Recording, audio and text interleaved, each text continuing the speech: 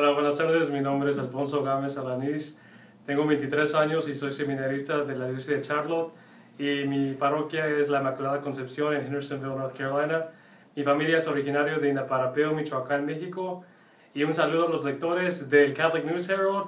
Iba la raza y gracias por sus oraciones, que los cuales ustedes a lo mejor no ven los frutos, pero nosotros los seminaristas los vemos día tras día. Así es que muchas gracias y que Dios los bendiga.